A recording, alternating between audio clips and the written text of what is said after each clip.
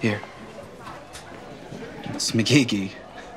This is the baby blanket my dad got me the day I was born.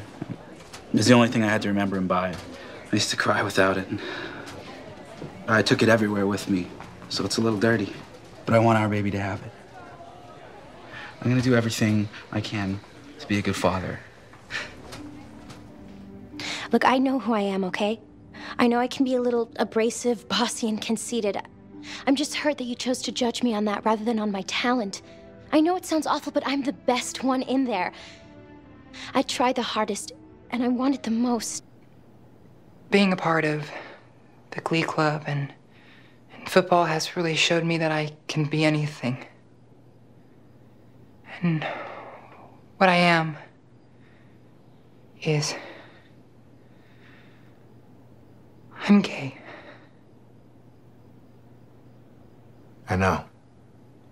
Really? I've known since you were three. You knew. I.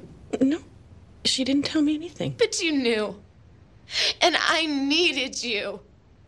I needed my mom. And you were so scared of what he would do if he found out that you just pushed it aside like we do every bad feeling in this house.